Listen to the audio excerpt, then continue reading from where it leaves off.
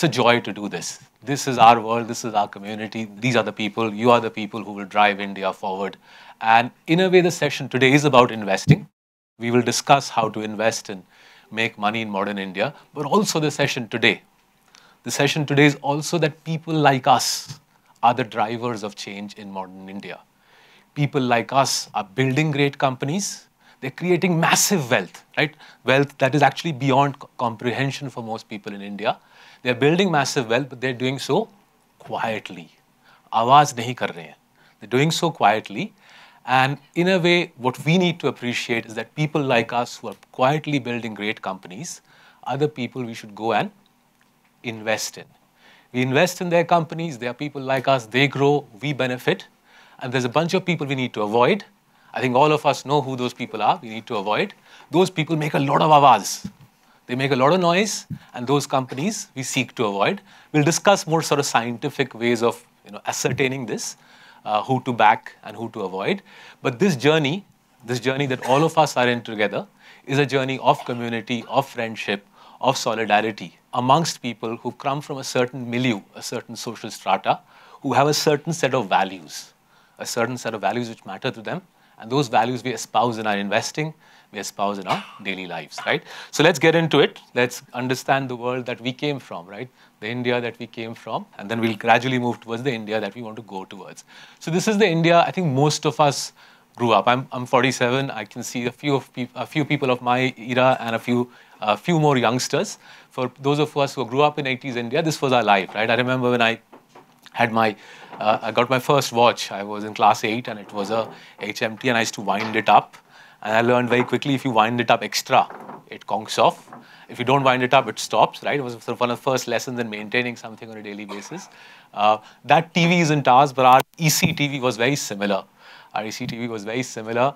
My parents, believe it or not, booked a phone uh, four years in advance वो phone कभी आया ही नहीं we never got the phone uh, the phone used to come in the neighbor's house we used to go and take the phone in the neighbor's house my parents migrated from India long before that their phone arrived right and I think the ambassador car everybody has seen another very striking thing about growing up in 80s India was typically every month or other month there'd be long newspaper articles or magazine articles. In those days, people read magazines, right? It sounds unbelievable now, but if you go to a railway station, you buy a magazine. And typically, the magazine article was either about a scam or about India losing comprehensively uh, uh, in some uh, sporting encounter, right? So there were lots of series on why we lost, and in public view, you would see cricketers politicking after the loss, and that was, you know, was a very tough time. I wouldn't say demoralizing era to grow up in. It was a tough era to grow up in, and, and the companies that dominated 80s India are the companies we have listed there. These are the top 10 companies from the Sensex as of 1990, right? And you can see uh, there's lots of companies making textiles, right? So not just Mafatlal and Century Textiles, but even Reliance and Grasim, primarily at that juncture, were making textiles, right? Polyester, viscose, etc. In fact, it was such an India where you could just make fertilizer and make it into the top 10 of the market, right? And if you look at the Sensex top 10 today, you'll only have two out of these companies in the top 10. Anybody wants to guess which two? Reliance and one more. Unilever. Unilever and Reliance still in the top 10 बाकी लोग top 10 से निकल गए still most of them are still around but they are vastly vastly diminished companies right because the era that we grew up in is very different from India today where is India today right where are, where is the country positioned if you cut through the hype right because the hype is of different sorts the hype is a lot of there's a there's a political edge to the hype if you cut through that India today is very, very similarly placed to where America was roughly a century ago, right? So just to sort of put this in context, why am I saying this? In the 1860s, America went through civil war, right? A famous civil war, they killed each other. 1870s, they stopped fighting. 1880s, right? Incredibly, they built their railroad system, right? By 1884, they linked the east and the west coast together. Uh, 1900, a man called Alexander Graham Bell invented the phone, so by 1900, these guys had telegraph, right? That also is quite remarkable. 1900 tak, they had telegraph across the country. 1908, the world's first produced, first mass-produced motor car came along, the Model T Ford. And naturally, therefore, with a lag of around 20 years, they, they highwayed the whole country. By 1930s, they built their national highway, national highway network, right? So those 50 years, roughly 1880 to 1930, they joined up America. They networked the country. And by networking America, they changed the complexion of the economy, they changed the complexion of the country. Specifically, specifically, chota companies, local companies got wiped out and national giants were born, right? You consolidated the economy, uh, not just these brands. If you go back and check, leaving aside the technology brands, pretty much everything that we know America and associate America with was born in that, was created in that 50 saal, 50 years ka era, right? So just to sort of take the example which is easiest to understand, right? Were American having were Americans having condiments and ketchups in the 1870s? Absolutely, they were having it, right? But much like India today, where say achar Achar in India is a local industry. Right? Achar, there is no national achar player. There is no national agarbatti player. Right? There is no national mithai player, incredible as it sounds. These are very local industries in our country. America, achar or uh, ketchup was a local industry in the 1870s. The most efficient ketchup manufacturer was Mr. Heinz. And therefore, as the country started joining up, right? And this is important to understand. It's actually quite intuitive. It's quite important to understand. As the country started getting joined up, better roads, cars, telegraph, etc., Mr. Heinz said, this is a lot of fun. This is so much fun. He would just go to the adjacent area where he dominated. These guys come from Pittsburgh. The Heinz family still, I think, is based in Pittsburgh. They went to the adjacent area and said, uh, look, Mr. Adjacent Area Ketchup Manufacturer, you have a choice in life. You either sell that company to me or I destroy you financially because I am more cash. I'm generating more cash. I have a more powerful business, right? And therefore, by 1930, one company dominated ketchup, and it was Heinz. And say ditto for breakfast cereal and Kellogg's. And if you go back and check, chewing gum and Wrigley's is very similar, right? That fundamentally is what economic development is about. A lot of people think economic development is capex and GDP growth and so on. वो सब outcome है. Fundamentally, economic development is when you join up a country when you join up a nation, the, the, the efficient player ends up spreading his or her wings, and the efficient player takes over the whole sector, right? And that's what my colleagues and I came to India to do, and thankfully, it's working to plan, right? India has been transformed over the past decade. This, I'm not making some political statement, it's a straightforward point of view. The first and obvious piece for those of us who drove through the metro uh, construction this morning, most of us drove through the metro construction this morning. In the last 10 years, we have built twice as much infrastructure as we did in the first 60 years of independence, right? It's a straightforward point. If you build, if you double the highway network, you halve commute times, you halve journey times. If a truck travels twice as fast and without any GST blockages, the working capital cycle, the number of days uh, uh, the goods are stuck inside the truck reduces, that's more cash flow, right? So first, an obvious layer of development is you've doubled the, the physical infrastructure, and this is not going to stop, regardless of which government is running which state. Expediting physical infrastructure has become a big priority for our for our polity. Second is what we have done in terms of tax reform is quite remarkable, right? I studied economic history at the LSE. I have never seen a country change its tax system at this speed and ironically without that much halla gulla right? So everybody knows about gst 2017 when gst uh, uh, uh, unified the indirect tax system right? Till gst came along. Remember till gst came along each state was a little market by itself. And you integrated the tax system then in September 2019, I thought a remarkable change took place. I thought it was a far more important change than people understood it. The finance minister cut the, the corporate tax rate from 35 to 25, right? It's a big change, right? Then in the recent budget, I thought an even bigger change took place, where the default mode of tax filing for most people became the, the simplified system, right? And this is actually very interesting. Most important changes in India don't actually get commented upon. They fly under the radar, and it's the nature of Indian life, both in business and in policy. The important stuff will not be hyped up right? And that's where you and I need to switch our radar on. The important stuff will not be in the headlines. The important stuff will be in the detail. And therefore, you know, in a way, investing in India, if you want to do it our way, is about switching your mind on to understand the, the subtext, the detail, rather than the big picture. The big picture usually that you'll get on the front pages of papers will be a smoke screen. The real stuff will be happening in the background. The real stuff in the budget was effectively she nudged the country towards a very different income tax system and I think a better income tax system. The old system of ye exemption, wo exemption is gradually going to become history, right? Let's move forward to banking reform, right? This has been epic, right? Again, it's flown under the radar. Basically, eight or nine years ago, uh, our banking system was effectively broken, right? Around 200 to 300 billion dollars had been taken out by power and infra promoters. That money had disappeared. It had broken the banking system. Small businesses found it very difficult to get loans in 2015, 16, I remember.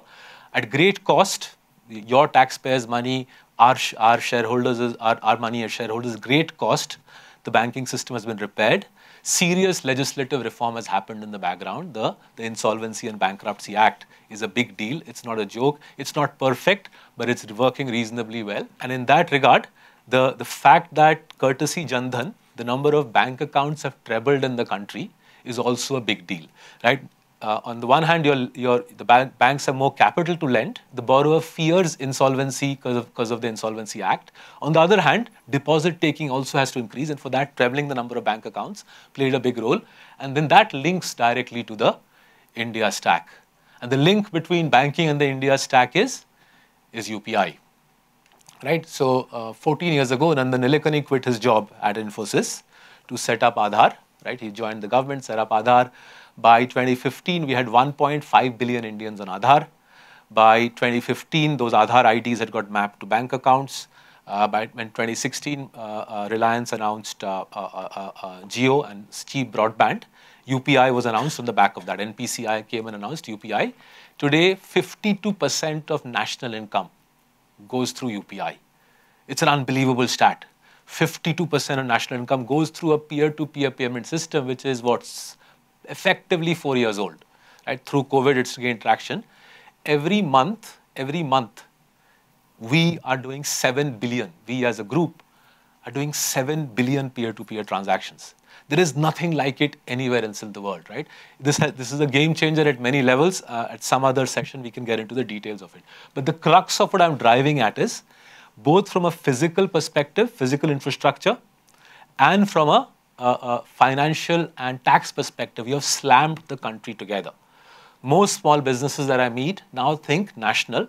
Small businesses no longer think that I'm operating in Mahalakshmi, so my client base is Mahalakshmi. That I'm operating in Bombay, my client base is Bombay. And because small businesses think national, and because obviously larger businesses are, are going national, it's changing the nature of it's changing the nature of competitive advantage in India right? The way business thinks, the way you and I need to think about competitive advantage is fundamentally changed, right? And we're going to discuss the implications of this for investing, but first let's take it step by step. Let's start with the obvious piece.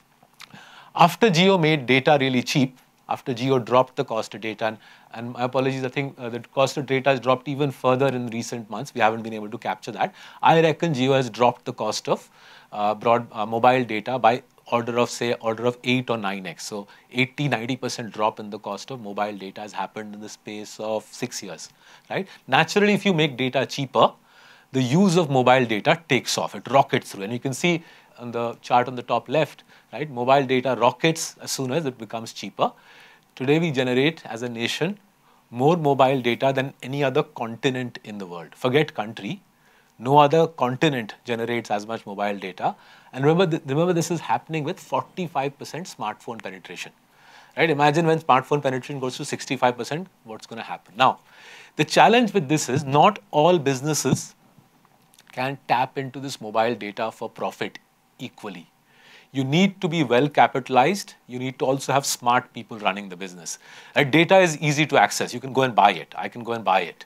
But to tap into that data, to mine that data, to use that data to make money is not a easy thing to do, right? And what's happening is a small group of very smart companies are, are mining data incredibly effectively, but almost to a man, to a woman, those smart companies that are mining data effectively are keeping their mouths shut they're not shouting out from the rooftops, right? And I can understand why they're keeping them out shut. In their place, I would have done the same thing, right? So first thing to understand is how has, how has data changed the nature of competitive advantage?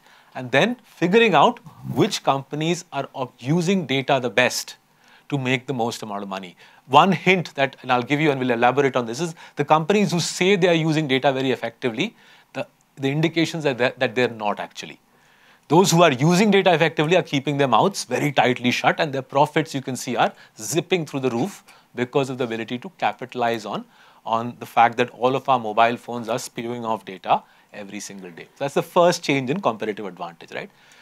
Let's come to cost of capital. The cost of capital in India has fallen very sharply over the last 20 years. So 20 years ago, had we met, I would have told you the 10-year government of India bond yield is 13%. Today it is pushing 7%, right? 6 percentage points drop, right? Now think about it. If you have a country where the government is borrowing at 13 and say a decent business is borrowing at 15, if you're borrowing at say 18, 19, that's not a big deal because you're not that disadvantaged, right? So in a country where cost of capital is high, if yours is a little higher, chalta hai, it's all right, you'll, you'll survive. But in a country where the government is borrowing at 7 and say Bajaj Finance is borrowing at 7, if you're borrowing at 10, you're going to struggle. You're going to really struggle, right? So as the cost of capital drops, ironically, as the cost of capital drops, for those businesses who are whose cost of capital is even a little bit higher, the disadvantage in absolute terms is far greater, right? So for today, for a small small NBFC to com compete with say Bajaj Finance for, or for a small bank to compete with HDFC Bank is much harder than was the case 10 years ago, right? And this cost of capital as a source of comparative advantage will carry on, I think, becoming more important because the cost of capital, I reckon, will keep dropping. As all of you start financializing your wealth, or as you as you continue financializing your wealth, the cost of capital where we are at seven, the bond yield is at seven, I reckon will go to three to four, three to four a decade hence. And again, those companies whose cost of capital is higher will fall further and further behind, right? And the last aspect, let's come back to tax again right? The tax pieces become critical. So, so remember the FM cut the direct tax rate, uh, she cut the corporate tax rate from 35 to 25 in September 19. And yet, as she said in the budget recently, corporate tax divided by GDP, direct tax divided by GDP, total tax divided by GDP, all of them are at all-time highs. Right? In fact, tax collections uh, at, at the central government level, tax collections are growing twice as fast as GDP. Now, that's the, that's the official message, it's a correct message, but you and I need to understand the consequences of that. Because all of us know there's an ecosystem of businesses in India which existed because they did tax arbitrage.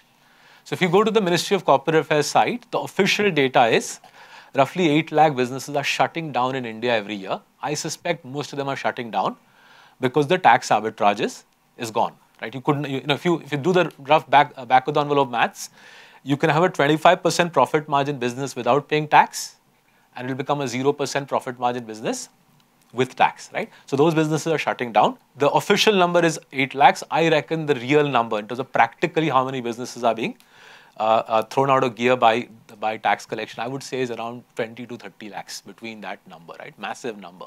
Now all of that market share, all of that market share is moving, right? I'm buying a Relaxo chappal, I could have bought a informal sector chappal. I'm buying a jockey car t-shirt, I would have could have bought a informal sector t-shirt, right? And you can see that, you can see that shift coming through. Market share shifting from the part of India that avoided tax to the part of India that pays tax. Now, this is just the beginning of the story. We are at 12% tax to GDP. Southeast Asian, East Asian countries are at 15. I cannot see how India can avoid going to 15. We will have to go to 15% tax to GDP. As we do that, even more small businesses will, will go under. And even more market share will shift, whether it's in chappal or t-shirt or, or uh, uh, plastic pipes or paint, etc., etc. right? So that's the third way that the economy has changed, right? The result of all this at one level is quite simple. The result is obviously polarization of profitability in the country. So if you look at the chart on the left, uh, the, the Upar text is about how that polarization is happening, the commentary I just gave you. If you look at the chart on the bottom left, right, um, around 14, 15 years ago when my colleagues and I migrated to this country, if you see the black line, the black line is telling you 14, 15 years ago, the top 20 companies in India, largest 20 companies in India, controlled around 30, 40% of the nation's profits. That was 2008-9 when we rocked up here. Today, if you drag the number out, you look at the black line. Obviously, during COVID, the black line went above 100, right? Because during COVID, small businesses made a loss. And therefore, the top 20 businesses' share of profits went above 100. After COVID, as you can see, the black line has normalized, right? It's actually very interesting how, how, how quickly the black line is normalized. But today, the 20 largest businesses in India are making between 70 to 80% of India's profitability. It is remarkable. This polarization has been super fast. right? I've worked in India for 14 years. Even I couldn't have predicted. I knew this was going to happen because I read what had happened in America. But this is blazingly fast, right? And because it is blazingly fast, the stock market is not able to fully discount it, right? Now, this is an important slide. In a way, the whole of our lives is in this one slide. So I'll, I'll pause here and I'll do something And this will be a real experiment for me as well, right? मैंने पहले नहीं किया ये. I'll do this with you. Okay, so let me give you a little bit of data and then we'll do a small quiz, right? A quiz more like a market research exercise. So here's the data. In the 10 years ending 2022, in the 10 years ending 2022, the Indian stock market created 105 trillion rupees of wealth. Okay? Simple data. You just take the Nifty 10 saal pehle, Nifty today. In 10 years ending 2022, the Indian stock market created 105 trillion rupees of wealth. Next piece of data 80% of that wealth was created by 20 giant companies. Right? Not surprising given what you're seeing here. The, the, the preceding slide, I showed you the polarization, no? So if obviously profits are polarizing, naturally, therefore, naturally, therefore, uh, uh, uh, wealth creation also polarizes. 80% of that 105 trillion came from 20 companies. And this is very easy. There's no science here. You just take 10 years pehle, aaj, if I gave you that list of 20 companies, the 20 companies that have killed it in the last 10 years, you and I will say two out of the 20 are crony capitalists, right? It's difficult to call the other 18 crony capitalists. Right? Other 18 are companies like HDFC Bank, TCS, Infosys, Asian Paints, Titan. Everybody who sort of follows Marcellus knows these names, right? And these are companies who have used business processes, enterprise, uh, uh, uh, proprietary technology, etc., to make money. Now, here is the quiz. Here is the quiz. I don't need to tell you the names of the crony capitalists. I think everybody in the room knows that. So no point getting into that. Let's do the other side, the, the side that takes India forward. Okay? So let's do Bajaj Finance. Bajaj Finance has compounded wealth 60x in the last 10 years. Right? 60x in the last 10 years. Who here can, if you know the name of the CEO of Bajaj Finance, raise your hand. The name of the CEO of Bajaj Finance. One hand, just raise your hand. Don't, to say anything. One, two, three. Three hands, four hands. So this, is Rashaj. How many people in the room, Yashraj? 102. So 4% of people in the room know the Bajaj Finance. 5% people know the Bajaj Finance. Right? Remember this guy? He used to be my neighbor. His name is Rajiv Jain. He has built a money machine par excellence, 60x compounding hardworking guy, 7 a.m. in the morning till 8 p.m., 13 hours a day. He works six days a week, right? Incredible, incredible guy. Uh, but you know, 5% of Mumbai's intelligentsia knows his name, right? And you guys are the intelligentsia. No jokes about it, you get really are, right? Now let's do another one. Let's do a company whose products most of you would have bought, which has created 330x wealth in the last 20 years. The company is called Titan. Titan, everybody's heard, no?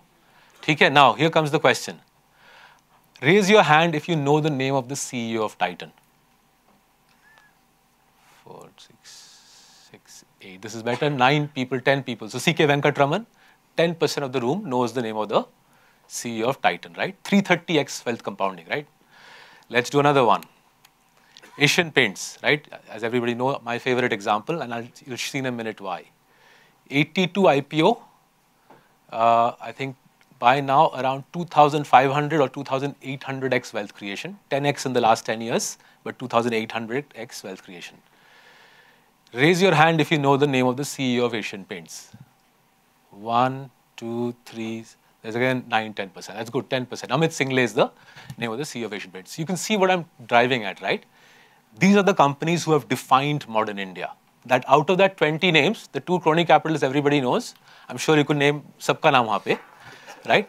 18 out of 20 companies, the defining narrative of modern India, 18 out of 20 companies, most of us uh, uh, affluent, educated people, these pe the CEOs are unknown. Amit Syngle, C.K. Venkatraman, Rajiv Jain, Sashi Jagdishan at HDFC Bank. These are the sort of poster boys, poster girls, they should be of modern India. But they are, they deliberately stay under the radar. Because they stay under the radar, it gives you and me an incredible opportunity to make money. This is Superman, but he pretends to be Clark Kent. This is Spider-Man, but he pretends to be Peter Parker. right? And I suppose uh, uh, if you see those uh, comic book characters as metaphors, these, the, the, the CEOs I spoke about and many more, they are the, the metaphors that we need to focus on. Now, how does it link to your and my making money, right? So, so we have a, a gentleman called Krishnan. He's our quant guru. Uh, he's helped us quantify things that people used to think about, but his ability, his ability to tease out, tease out uh, uh, quant insights is mind blowing. So, year and a half ago, year or so ago, he built this chart for us. Right? I'll talk you through the chart, and then I'll give you the power of what this chart is telling us. This chart is telling you what the future holds for us in one slide. So, um, we can go back, say, to 2003. We can go back 20 years and look at data. We can we got 20 years of financial statement data in great detail for thousands of companies. Okay, easy. You can go buy a database, you can buy it. So let's go back in time to June 2003. Right, we are back in June 2003. The financial year 03, FY03 has ended in March 03. June 03 tak results aa gaya hai. We got the results for FY03. And what you and I can do is say, let's look back at the preceding year, identify companies who are above average on two on two fronts. Firstly, their profitability, matlab return on capital, profitability as measured by return on capital. Return on capital is simple, profit divided by how much capital is invested in the business. So we go back in time, we go back to June 03, we say which are the companies in the prior year whose profitability, ROCE, is above average. Okay, you get a list of say 50 or 60 companies. Uh, by the way, above average does not mean symmetric. Right? So, uh, the average tends to be a dispersed number. So I went to school in Delhi in the 80s. There were uh, 50 bachas in the class. 10 of us used to study, 40 people used to party. So the 10 of us dragged up the average mark. So the above average was only 10, 10 out of 50 bachas, 20% of the class. Right? And ROC is similar. Right? ROC is similar. Average ke aspas is not symmetric. Above average tends to be only around around 20% of the population. So assume you have a 40, 50 companies or above average on ROCE. Then we say we also want to identify companies whose growth is higher than higher than uh, average, right? Rather than measuring growth, we use something called reinvestment rate. Reinvestment rate is what percentage of your operating cash flows are you investing back in the dhanda? In accounting terms, investing cash flow divided by operating cash flow. How much of the business ka paisa are you slamming back into the business, right? So we want you to be above average on reinvestment because that will give you growth and we want to be above average on return on capital because that's a measure of profitability. So typically we find sitting in June 03 that roughly 20 companies pass the test. Okay? And then we built back in June 03 an equal weighted portfolio and let it run. We let it rip for 10 years and we write down the result. We repeat the process in June 04. June 04 again we sit, look at the preceding fiscal, identify companies who are above average on reinvestment and growth, equal weighted portfolio again 15-20 company ही होता है उससे ज़्यादा नहीं होता 15-20 companies you identify them and you let them rip for 10 years and you do it year after year 2006 5 6 7 8 and what you find is remarkable you find that final stack which where I've highlighted in in, in that uh, dotted line dashed line right what do you find that these above average companies year after year these above average companies are growing their cash flows. They're, we call them free cash flows. Free cash flows matlab cash flow after doing capex.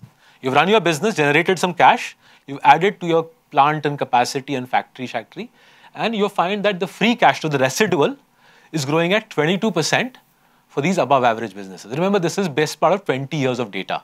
This is pretty reliable data.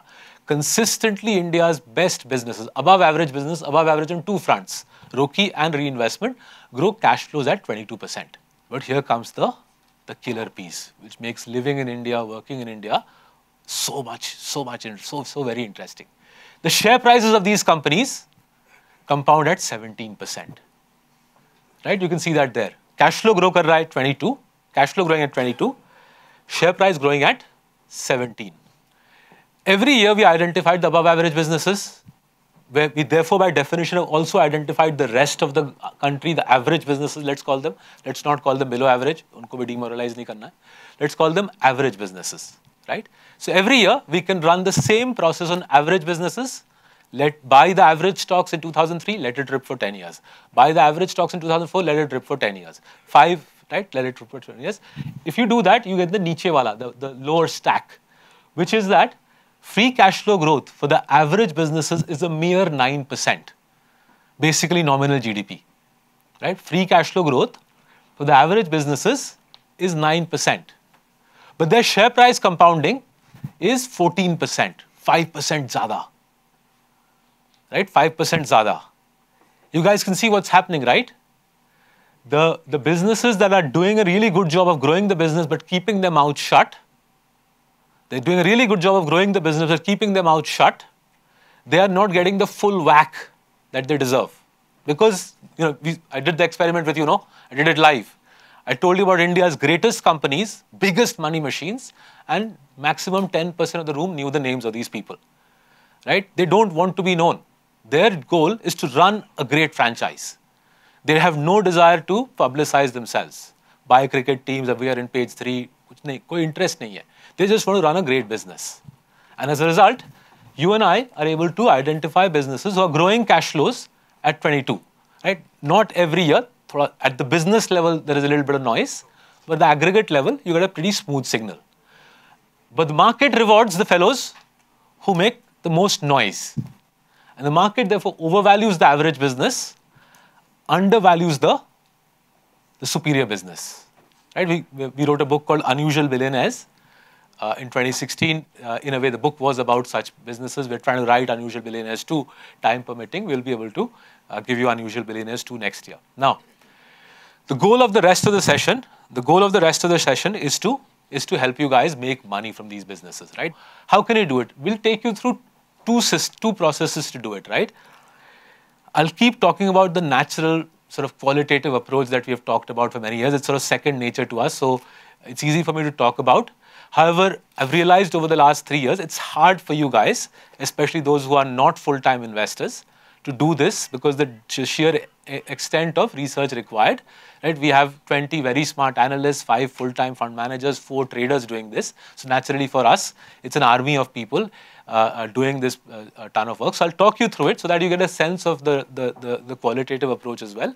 Our book Diamonds in the Dust gives you further details of the qualitative approach, but I'll also give you in parallel a simplified way to do this using simple, simple metrics. I won't call it a shortcut, but it's uh, for someone who's interested in investing, wants to do his or her own thing, they can they can adopt this approach to good effect. Uh, we've done it uh, in parts of our business, and it seems to be working for us. So I thought I'll also share that method with you, right? So, so the the underlying inspiration from this comes from Atul Gawande's lovely book, The Checklist Manifesto, right?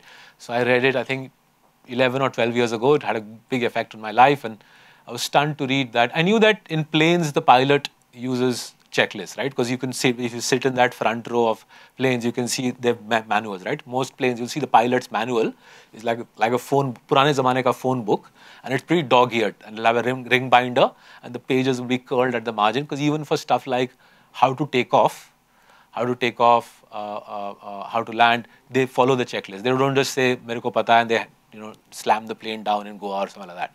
They follow a checklist, right? Uh, but I didn't know that even in surgeries, checklists uh, are increasingly used and they're very effective. So, so in that book, in Gawande's book, he, he points out something as basic as line infections. Line infections hota hai, say when you get a catheter, right, when you get a catheter, uh, um, often uh, the process of using the catheter ends up giving the patient an infection right? And that's obviously damaging for anti-infection anti drugs and it weakens the patient.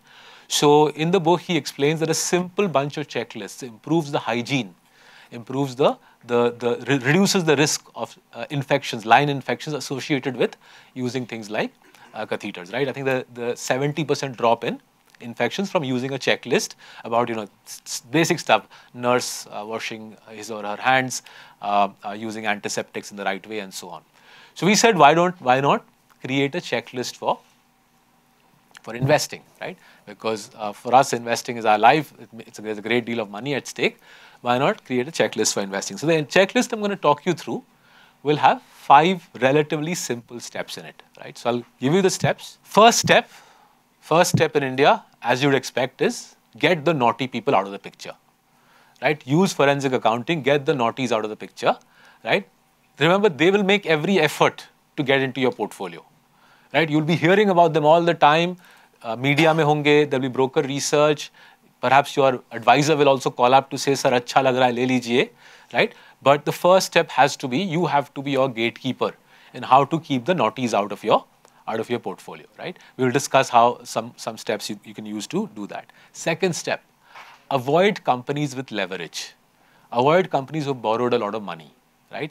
Uh, the, the, there's, a, there's a double reason for avoiding companies which have borrowed a lot of money. Firstly, their cost of borrowing tends to be quite high. Even if you're a big industrial house, big conglomerate in India, if you borrow a lot of money, the banks start hitting you with 8 9% interest rates. Once a promoter has paid, and remember these are large promoters paying 8 9. Once a promoter pays 8 9 and a mid sized company pays 10 11% interest rates, what's left on the table for you is quite modest. And there's a further challenge, a deeper issue.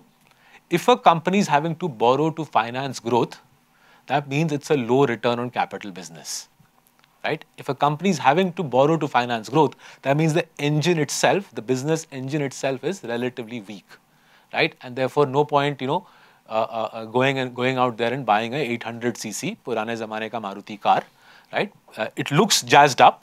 It's like uh, you know those souped-up cars from the outside. When we were growing up in Delhi in the 80s, there used to be a lot of this.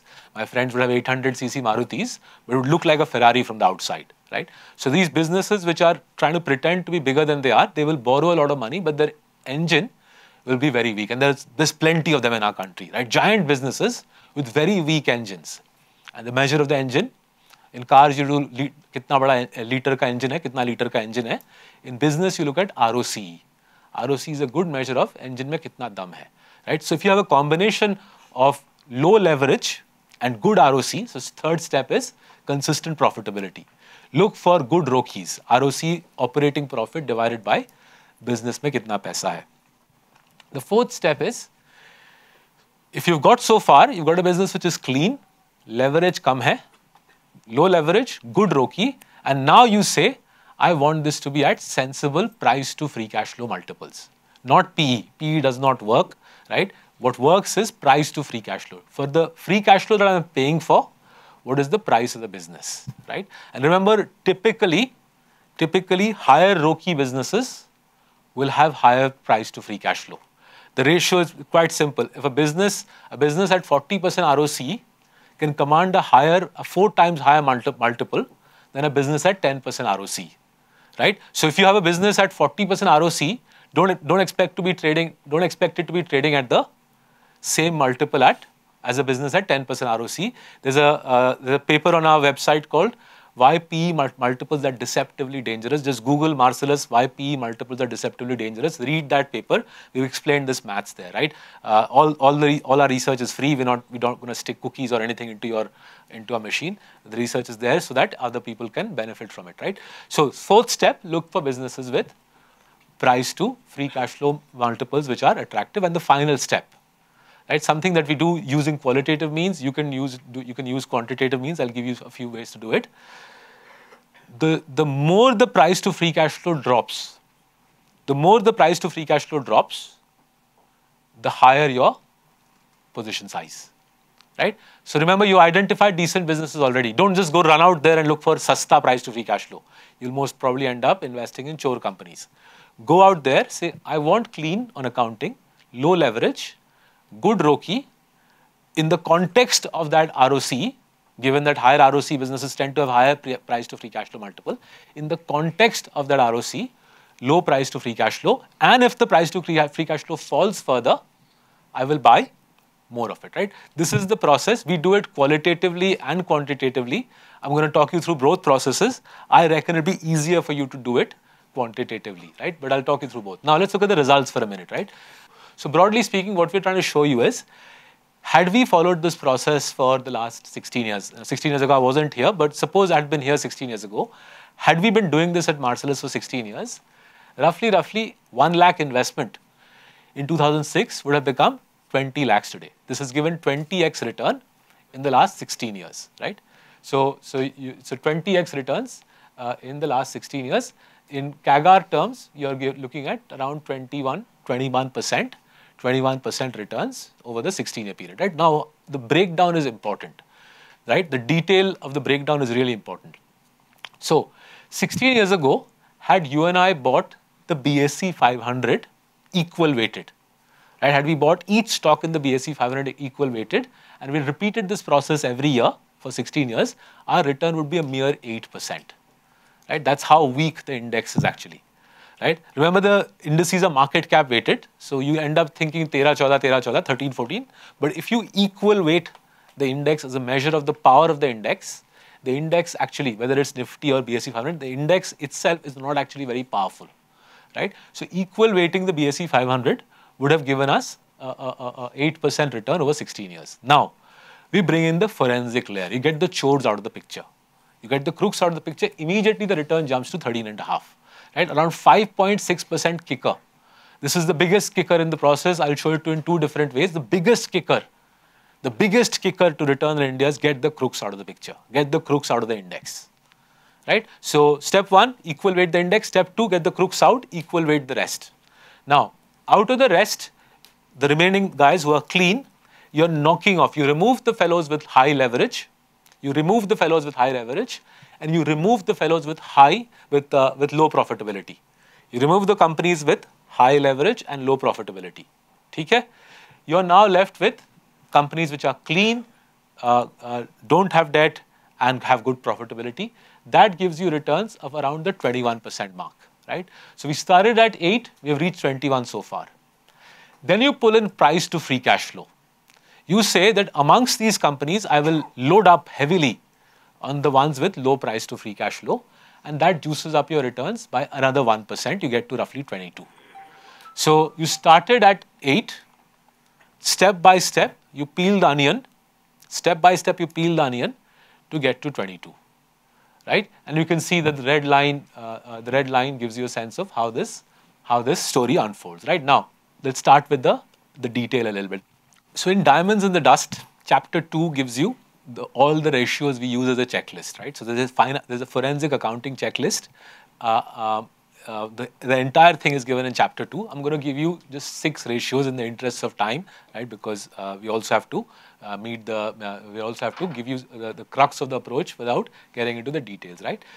The first and most important forensic ratio is called cash conversion ratio. So you take a company's operating cash flow, that's the numerator. In the denominator is operating profit. Operating cash flow upper, operating cash flow. This is called the cash conversion ratio.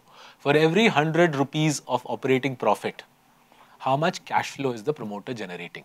The reason this is a almost like godlike powerful ratio is this is the most easy measure of chori in, in, in forensic accounting. Typically what promoters do is if they want to juice up the stock, because they know most people look at PE multiples, they fudge the earnings. They basically boost the earnings through naughty means. Right? So they will, they will declare revenue which is not really revenue. If you declare dodgy revenue, fraudulent revenue, obviously your profits are also fraudulent, right? And the way to spot it is to check the cash flow and say cash flow RINE. Now, if you want to be cleverer about it, you take a company and compare it to the peer group. Right? Now, I'm going to tell you something which will help you hopefully avoid a blow up, which I think will come in the next couple of years. This has helped us repeatedly in India avoid, avoid naughty companies, right? I've lost count of how many times Amtek Auto one of the reasons uh, 10 years ago we were able to see through it is this ratio was super weak for Amtek compared to other ancillaries. There's a large pharma company in South India heading for a blow up. It's inside many Indian portfolios, right? And it's heading for a blow up, and you can see it by looking at the CFO EBITDA.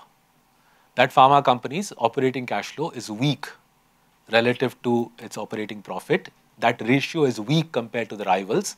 And if you do the forensic flow through, you probably won't have the resources, but you, if you go and check this large pharma company, it's a very large pharma company, right? Uh, uh, you see the weak cash flow, the weak cash conversion, and that's a very powerful sign that this is going to be, this is going to be a big, uh, troublesome story right? Um, you know, this, this, this happens in, in, in uh, emerging market stock markets with metronomic regularity. It happened in America as well. It happens in Japan as well, right? There's nothing new here. Use this as your first kind of, this is your kind of, uh, your, your king in forensic accounting. Then the next piece to look at is uh, provisioning for, for debtors, right? So remember a company, almost every company will have some clients who don't pay up on time, right? So there'll be provisioning for these doubtful debtors A company says that I've got, say, 100 crores outstanding, where clients are yet to pay me. But I know from my past experience that around 2% nahi dega paisa. 2% is not going to come through. So that company should provision 2 crores. That 2 crores is a hit to is a hit to the company's profitability. When a company doesn't do that, right? When a company doesn't provision for doubtful debtors, right? And you can see debtors, the debtor number is big. The receivables number, receivables or debtors is revenue yet to come into the bank. You can see the receivable number is big, but there's no provisioning for it. That's a killer, right? That's almost, that's almost, you know, you can almost see the ding, ding, ding, uh, uh, khatre ki ghanti going off in your head. So there's a wind power company. There's one wind power company which is already gone. There's another wind power company where this khatre ki ghanti is going full blast, right? It's been going for a few while, right? Which, which means that this is an indication that the company is declaring revenues which are actually, which are actually overstated, right? And he knows, the promoter knows that the revenues are overstated, which is why he's not setting aside a provision for the naughty stuff, right? Um, third, third one is every company has cash on the balance sheet, or they should have cash. They will have on the balance sheet. On the balance sheet, you'll see how much cash or bonds uh, or FDs they have in the in the business. On the face of the P&L, you should see how much treasury income, interest income uh, the company is declaring. Right? So the interest income is in the P&L. The cash is on the balance sheet. Divide one by the other, the interest income by the cash, to get a sense of how much is the company earning on the cash. Right? If average Joes like us can earn 7% on our FDs, uh, and, and large corporates can earn 5 6% easily on, on time deposits, then the a reasonably well run company should be getting 4, 4 5% in the current day and age on the cash on the books. If that number is 1 or 2, that usually suggests the cash is not there. Right? So, what companies very cleverly do is to show the auditor, they bring the cash in on the last day of the of the reporting period, right? And therefore, the, the cash doesn't earn the whole inter, in, interest income, right? But that practice over many years suggests something very naughty happening. Some years you can, you, it's justified. If some years the money came in very late in the year, naturally the interest income on the P&L will be lower than uh, the, the 4 5% mark. But if every year, every year you're earning 1, 2, 1, 2, 1, 2, that means the cash is usually not there which is again a khatre ki, a, a danger signal, right? Um, let's go to one ratio which turned out to be a lifesaver for us for the first five, six years I lived in India. It's called contingent liabilities, right? Contingent liabilities are uh, uh, companies' liabilities. See, on, on balance sheet liabilities is debt. Off balance sheet liabilities is these are challenges, financial hits that the company might face in the years ahead right? So by law, you are supposed to declare them. So, so for example, if you are in a fight with the income tax department, uh, you're, you're, arbitrating or you're in arbitration or in the courts, the taxman is saying pay up 1000 crores and you're disputing that, then you're supposed to announce, you're supposed to say in the annual report, contingent liabilities of 1000 crores. And you can, you, you and I see that number, we divide that by the net worth to get a sense of how grave the situation is. But say for a bank, for a bank, uh, a bank writes bank guarantees and letters of credit, right? Everybody knows what bank guarantees are, right? A bank guarantees that Saurabh Mukherjea is good for this 500 crores. If Saurabh defaults on the 500 crores, I, the bank, will make good the money. So the bank has to say these are these are these are contingent liabilities. If Saurabh Mukherjea defaults, I will have to pay up. The bank says I will have to pay up to say whoever is Saurabh's counterparty is the X amount of money in the event of Saurabh's default. So the RBI compels the banks to declare that as a contingent liability.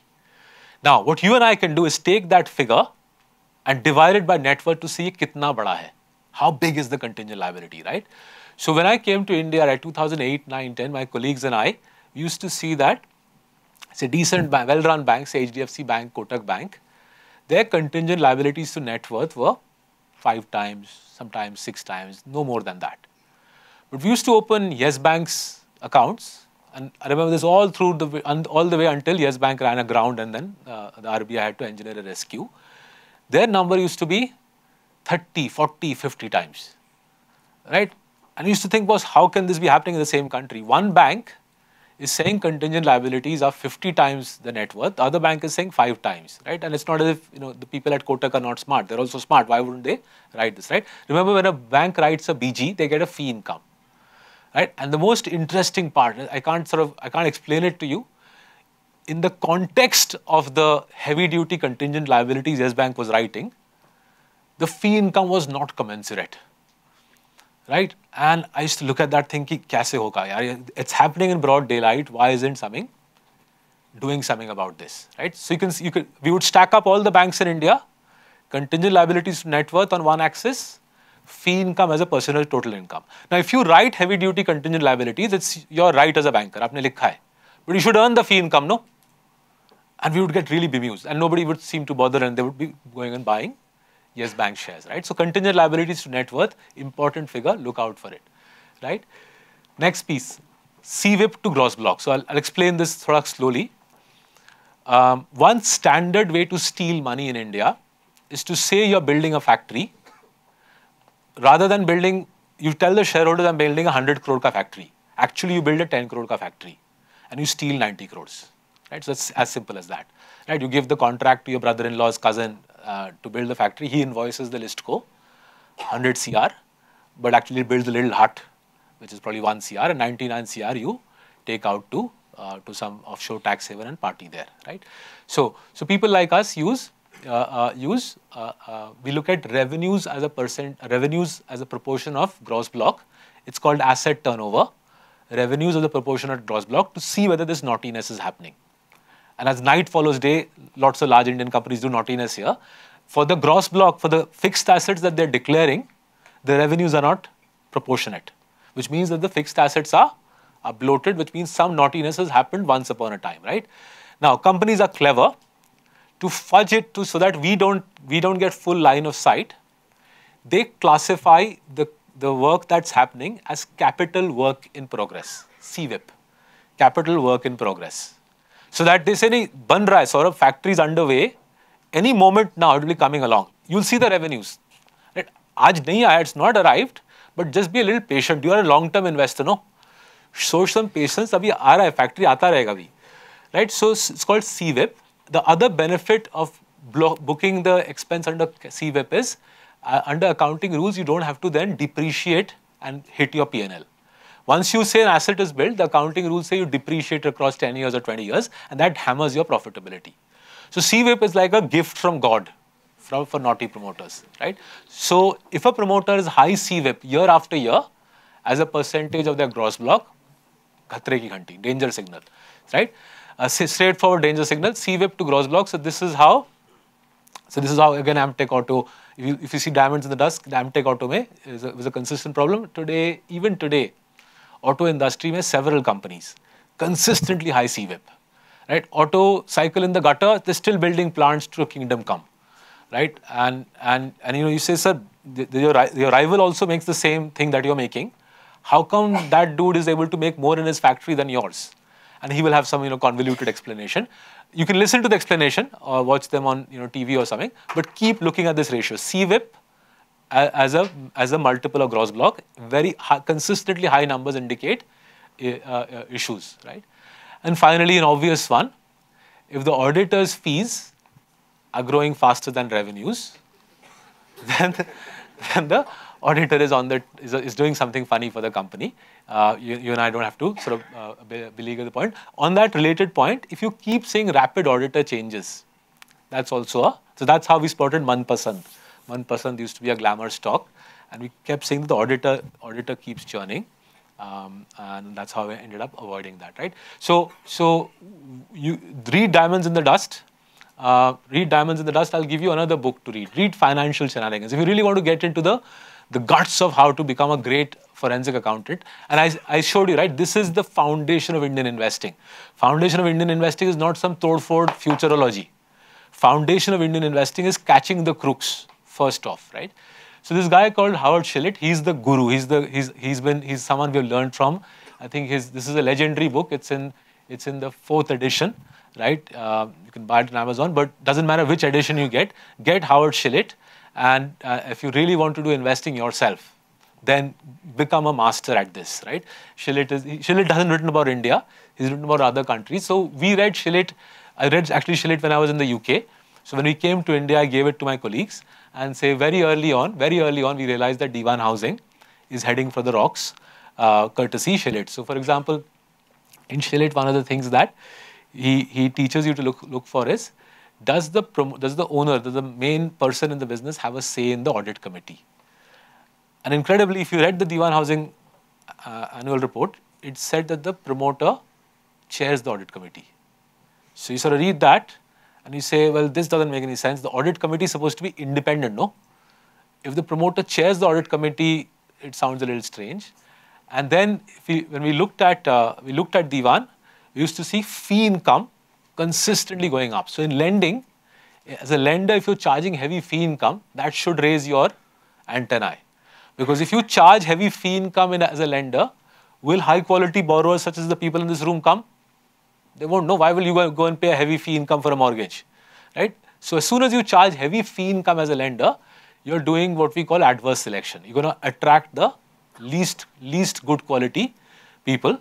And then as we kept looking at Dewan's accounts using Schilit's lens, uh, by 2013 it was evident to us that there's a there's going to be issues here. Uh, uh, just one clarification. When I created the slide, or my colleague Salil created the slide a year ago, Dewan was in bankruptcy. Since then, it's come out of bankruptcy. It's been acquired by the Piramals. It's no longer in bankruptcy. So that clarification is now owned by the Piramals. Uh, the equity holders got nothing, by the way. The company went into bankruptcy, right? So the equity holders got zero. Um, um, and uh, the promoters are, I think, somewhere in Bombay, but from what I keep reading in the papers, they go in and out of they go in and out of prison uh, on, uh, on, on some, some, for some reason or the other, right? Now, the remarkable thing about Dewan was not that it went bust. You know, बड़े बड़े country में बड़े बड़े lenders to फटते रहते हैं. That's a rule of life. But the remarkable thing was retail participation rocketed after it after it became clear that this is going to blow up. It was crazy. Right? So you, you see the data. The, the stock price plunges. So I think September 2018 uh, DSP sold some of the bonds, Dewan bonds that they had. They sold it basically at a distressed valuation, uh, yield of 12%, which implies a distressed valuation. And you know, once a smart house like DSP sells the bonds, then the rest of the market got wind of it, and you can see the kind of vertical drop in the share price, right? So, so you know, uh, DSP has at least as large a team as Marcel Marcellus, probably larger. So DSP is selling bonds, retail punter buying shares right? You can't sort of make it up. Not only buying shares that week, the retail punter keeps buying, right? It keeps buying basically until it goes into bankruptcy. People keep buying the shares. And you can't make it up. You just you ask yourself, who the hell are these people here? It's say you, you don't even have to do forensic. It's coming on TV that company is going down, and a bunch of crazies in our country loading up their life savings on it. The same, uh, we, uh, there's a same similar chart for Yes Bank as well. Yes Bank going down, RBI trying to orchestrate a rescue, retail investor asking me, sasta lag raha na? and I don't know what to say, I mean, you know, you don't even know. People ask you these questions at the airport or the lift, sometimes in the toilet. What do you say? You can't sort of sit them down and say, "अब मैं आपको समझाता right? So just be careful of this, right? Don't get into this this situation that it's gone down. A lot of people say gone down. खरीद लूँ Right? Don't do that. Its life is too short for that. Right? Now let's get back to the the, the process again, right? So we start with the BSE 500, do the forensic piece, then we look for low leverage, right? Um, now, uh, to be honest, when we do when we do leverage analysis, we do something a little sophisticated. Uh, there's a Python code that our colleague uses. If I want to simplify it for you, here is the way to simplify it. Look for debt equity below 0.5 times. 0.5 ke niche debt equity, don't go above that. The only exception you should make is lenders. Lenders naturally need to leverage. But even in the case of lenders, if debt equity is above 10 times, uh, stay away. Typically, good lenders are levered 5 to 10 times. 10 ke upar, I find it a little stressful. Um, some of the large public sector lenders today are running at 20, 21 times debt equity. I don't have the nerve to even get remotely there, right? 10 is as far as my middle class heart can bear right? Uh, consistent profitability, ROCE is the metric that we've written about extensively, at least 15% consistently. You'll see the bulk of the Nifty doesn't make it. The bulk of the Nifty doesn't make it. Now, if they were doing, you know, something Elon Musk-esque, you know, which for something futurology they were doing, I could understand. But people are making, you know, um, civil construction at 10% ROCE, uh, you know, doesn't make any sense to me, right? If you're doing civil construction at 10% ROCE, that's a good service to the country, or you're, off, you're offering us telecom services at 12% ROCE, good service to the country. But for you and I to make money from that, a little difficult. So ROCE above, ROCE at 15 or above, right? And then let's move to something that I, I, want to talk you through a little carefully because this is an important aspect of investing that historically we haven't quite explained to the public uh, uh, uh, before, right? So you identify a bunch of good companies. Now you now want to invest in them, right? What you need to do is figure out what is the what is the way that you can rebalance the portfolio. Let me talk you through rebalancing and then I'll explain to you both position sizing and rebalancing. Right? When you think of rebalancing, think of the IPL auction. That's the easiest metaphor for rebalancing, right? IPL auction is every cricket team, you've seen it on TV, right? Every cricket team sits down, the IPL team sits down, there's a typically for some reason British dude who you know who says itne pe player and you know uh, promoter is their the lollipop. Each promoter gets a lollipop. Promoter raises the lollipop and then it carries on until and until the finally the auctioneer says done you know, uh, uh, Rohit Sharma goes to Mumbai Indians and there is price. Right? So every IPL auction is a rebalance. The teams jettison their underperforming players for a price. They buy new players.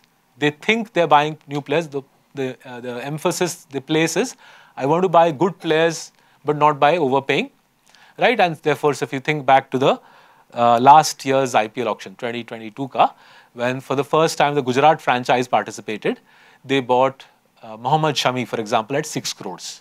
Right, and uh, by the time the auctions ended, everybody in the cricket uh, online community said the Gujarat people have screwed it up. They've paid too much for, you know, uh, Lockie Ferguson, Mohammad Shami, Shubman Gill, etc. Iska to, they said this team has now overpaid. basically, they tried to position Gujarat as the as the Marcellus of IPL. And then you and I know what happened next, right? They said uh, they said they overpaid, and uh, Gujarat Titans dominated every stage of the IPL and ultimately won the IPL, right? Supposedly with overpaid players, right? Um, and this year, uh, this year, many of the Gujarat players, I noticed many of the Gujarat players who were sold were sold at far higher valuations. The other people who bought them clearly didn't think they were overvalued, right? So, so there must be something happening there. So effectively, when you rebalance, you're trying to do your own Gujarat Titans wala story. You're trying to bring in new players who are good but the market isn't recognizing them as such. And you're trying to jettison some of your players who are good, but you think they are fully done, right? And therefore, the the the abiding uh, uh the, the the metaphor I keep think going back to is 1983 Kapil Dev and India winning the World Cup. We were a good team. We didn't realize it ourselves. As you, uh, if you watch that uh, movie, uh, uh 83 Ranveer Ranveer Singh, right? Ranveer Singh, ah. Ranveer Singh plays Kapil Dev, and there's a famous scene, right, where the manager books the tickets uh, day prior to the semi-final. Final chodo. They booked the return tickets for the Indian team a day prior to the semi-final. Uh, we ourselves didn't know that we were any good. So uh, how would the rest of the world know? And this actually is a very interesting thing. This happens often in India. When I meet small cap companies, often they themselves don't know they're very good, right? They are they are sort of a little de deflated and you sit down with them and you say, you look at it and say, boss, you're 1983, you're Kapil Dev. And the promoter says, no, no, no, you, you must be joking. And he said, no, look, look at the product, look at the moats, look at the distinctiveness. You can build something very powerful. What you're not trying to do is, you know, buy the duds at the bottom left. Don't do Cox and Kings, D, DHFL or, you know, Satyam, Satyam. That's the traditional value investing paradigm in India. The traditional value investing paradigm in India is people buying stocks which look optically cheap, but actually end up being duds. What you're trying to do is buy companies which are high quality, but the world hasn't realized that, right? And if you do this every six months, every six months, sit down with the portfolio, look at the stocks, look at the price to free cash flow, and try to say, how do I load up on stocks which, uh, given their fundamentals, given their debt equity, given their ROCE, are at low price to free cash flow, uh, and how do I uh, reduce some of my holdings where given their fundamentals, the price to free cash flow is very, very high. Now, let's go back to the same flow through again, right? Uh, forensic, low debt equity, uh, good profitability, and, and price to free cash flow. So rather than just doing the raw returns, we've now given you the risk adjusted returns. Risk adjusted return hai return divided by volatility, right? How much do the shares dance, right? What you are looking for is good risk adjusted return, not just raw return. Why are you looking for good risk adjusted return?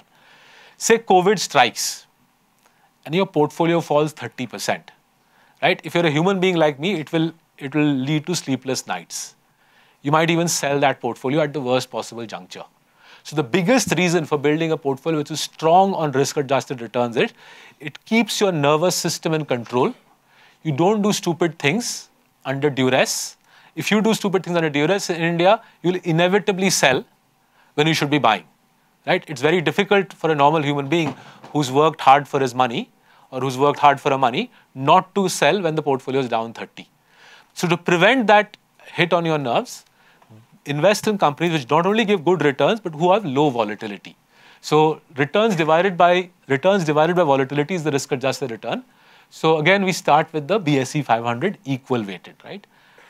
0.33 times, which is actually quite a bad number. That means for every unit of risk, only 0.33, one unit of risk pay, 0.33 return, di di diabolical, diabolically bad outcome. As soon as you do forensic, you double it right? Forensic immediately doubles your risk adjusted return. You'll see no other step in the process doubles. Forensic doubles it.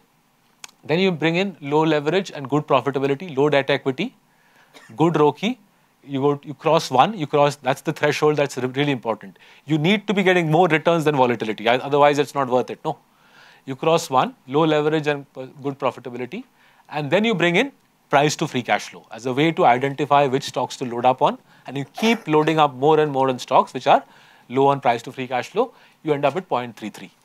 So you start at point, you start at 0.33, you end at 1.23, I'm sorry. You start at 0.33, you've improved your outcome 4x. You improved your risk adjusted outcome 4x. Now, some of you might say was 20%, that's not good enough. A lot of people I meet, they say they're getting 30, they're getting 40. Everybody I meet is making a lot of money. Nobody tells me I'm not making money, right? I was stunned to read in the newspapers two weeks ago. SEBI announced two weeks ago that 90% of FNO traders lose money. I was stunned to read that. I thought every FNO trader I'm meeting is killing it, yeah. Right? So it was insane that SEBI, the regulator has some other data which suggests that 90% of FNO traders are not making money. But anyway, this is as good as I think we can do in India with our means, 22% long-term returns. Um, on a risk-adjusted basis, you're getting substantially better returns than the risk you're taking. So let me do one last example and I'll bring it to a, I'll bring it to a close. So we own this stock, LTTS, in many of our portfolios, in our qualitative portfolios, in our quantitative portfolios. As a way of disclaimer, I'm invested in, uh, in, in, in, this through many of Marcellus's portfolios. Um, um, and, and by the way, the disclaimer applies for most, uh, all the stocks we've spoken about so far. They're inside our portfolios. I'm an investor, 10,000 other people, many of you in this room are investors, my parents are investors. So let's come back to LTTS, right? Let me first tell you how a qualitative analyst will do it the traditional Marcellus way. And then we will discuss the shortcut way, the, the quant way, right? The result is the same. The, both result in us buying LTTS in large quantities.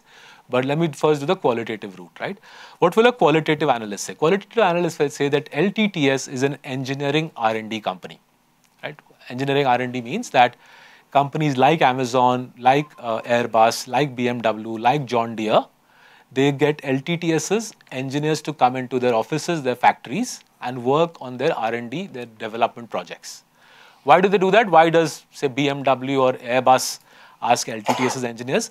Because LTTS can supply thousands of engineers at the 30 lakh to 30 lakh to 50 lakh, 30 lakh to 1 lakh, uh, 30 lakh to 1 crore price point as you can understand in the Western world, for $50,000, you're not going to get anything, right? So, so both from a cost perspective, but also because if I am, say, Airbus and I'm doing every, say, five, six years, I launch a new aircraft, I'll get a one year, one and a half year spike in demand for engineers. For the other three and a half years, I don't need the engineers, right? So why will I just hire a ton of people and then get rid of them one and a half years, right? So both from a cost perspective and from a, a staffing volatility perspective, uh, in Indian engineering R&D companies, of which this is the largest, play a very important role, right? So L&T has 16,000 16, such engineers, which they hire from India's uh, engineering colleges, trains them up, puts them on a plane to, to wherever, Chicago, uh, Dusseldorf, etc. And these guys are Indian boys and girls, goes, go and work in these factories, okay? That's the service. This is not IT services. They're not doing uh, uh, they're not doing SAP implementation, Oracle, Salesforce. This is engineering services. It sounds superficially similar, but it's a different industry. And one rule of thumb is typically where the IT services industry is in year 10, engineering services in year 1. So the engineering services industry today is where IT services was in 2010. Right? There's a massive dearth in the West of STEM, STEM graduates, massive dearth. India produces more STEM graduates than I think the entire Western world put together. L&T hires several thousand of them every year from the universities, and the 16,000 engineers disperse around the world and make, make money. The, the revenues are the best part of a billion dollars, right? They make around a billion dollars of revenue a year, right? Now, what are the comparative advantages here, right? Our analyst will say, why, will, why does this company make a ROC not 15, not 25, but actually 35%? The competitive advantages broadly are in three areas. First is trust, right? If you're Amazon and you, you need an R&D team to work on Alexa, you're not going to be running an L1 process for the subse sasta, the cheapest engineer, right? You need someone who you can trust will protect the IP. Your BMW, your, you need people to work on say EV or powertrain. You need a trustworthy group of people, trustworthy both because they do a good job and trustworthy so that the intellectual property is not, is not stolen, right? So if you look at the data, out of the world's top 100 spenders on engineering R&D, 55 are clients of LTTS. Out of the world's top 10 auto OEMs, 8 are LTTS clients. Out of the world's top 10 manufacturing companies who are not in auto, non-manufacturing auto companies, 7 are LTTS clients, right? And you can see the trust because 90% of the business is repeat business. The same people keep coming again and again. And you can see why that is, right? Because of the way technology is evolving, a car is not something that you build now for once every five years. A car is almost like an iPhone. Every six months in an EV, there's a software upgrade, right? And that requires design. And every year, a new, if you look at Tesla, every year, new designs come. So a car and a phone are now very similar. Even medical devices are increasingly similar to the iPhone than the Purana Zamana. So the addressable market for these sorts of players are rising. 90% of businesses repeat, repeat business. Unless the West manufactures a huge glut of engineering talent in the next 10 years, these sorts of companies have a uh, have a long trajectory in which they'll grow. So that's the first supply, first advantages is trust. Second is IP right? One of the most remarkable developments of India in the last 10 years. This company is only 10 years old, by the way. It makes a billion dollars of revenue. It was inside, it was inside L&T prior to the, prior to 2013. L&T under incubated hua, but it became an independent entity only a decade back. In 10 years, these guys have got 900 patents from their 90 innovation labs. Right? That's pretty solid stuff. These are not just local patents. These are patents filed in many different countries. You have genuine intellectual property inside these businesses, which other Western companies want to buy on tap. Right? If you go to the LTTS website, uh, uh, you see the, the IP, and the IP becomes the second competitive advantage. But the third and perhaps most critical competitive advantage is supply side. If you want to hire several thousand engineers every year, can you just stick an advert online and hope that the people come in? Hoga. Right? Indian engineers now have all the opportunities in the world, even in supposedly funding winter, the engineering colleges still are full up on demand, right? So if you want to hire talent from decent engineering colleges, you need to build massive relationships. So every year these guys do something called TECHgium. It's a competition. I think 400 or 500 colleges participate in it. They've been doing this for 10 years.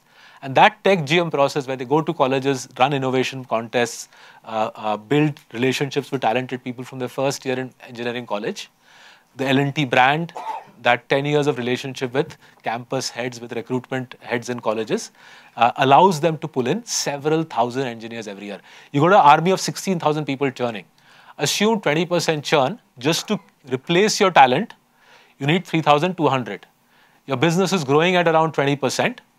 To then augment that, you need another another another 3,000. You basically need 5,000, 6,000 engineers to feed a machine like this. And that's not easy. In, in any other country, it's not possible. The only country it's possible is in India. We produce 10 million graduates a year. But even in India, even though there are 10 million graduates, for this quality of work, the skill set is, the, the population set is tight And to pull 5,000, 6,000 graduates, you need supply side comparative advantages, which is what L&T specializes in. So a qualitative analyst, the Marcellus qualitative analyst will conclude the exercise by saying, these are the comparative advantages. The result is ROCs of 35, 40%, 20% free cash flow compounding. We will value it and say this stock is worth twice as much the current share price. Broadly in that ballpark, the stock is worth twice as much the current share price, right?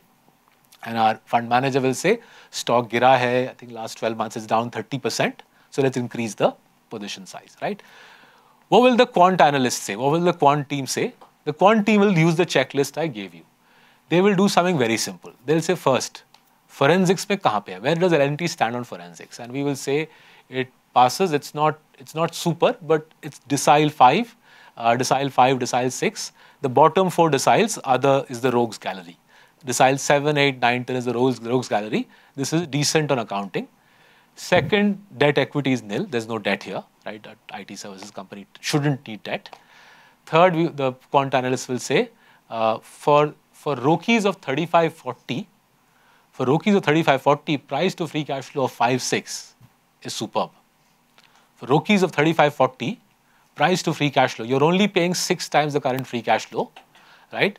Uh, that's a superb outcome and we rock and roll, we go and buy, we go and buy L&T. So you can see how the quant analysts sort of revved the position up. Uh, uh, uh, uh, both approaches are valid. If you have the time, the interest, and it's a passion, do the qualitative approach. That requires study, it requires reading. Read, the, read first, understand forensic accounting, then read the annual reports, understand the strength of the franchise, reach your conclusions on why this company will generate free cash flows for many years to come, if you don't have the time because you've got a demanding day job, then follow the simple checklist approach. And I'll go back again on the simple checklist approach. Simple checklist approach, forensic screening, low leverage, low leverage, uh, uh, uh, uh good ROC, and then finally bring in price to free cash flow, and you're done. So I'll stop there. Thank you very much. Thank you, Edge. Thank you for giving us this opportunity on this lovely Sunday morning. Thank you.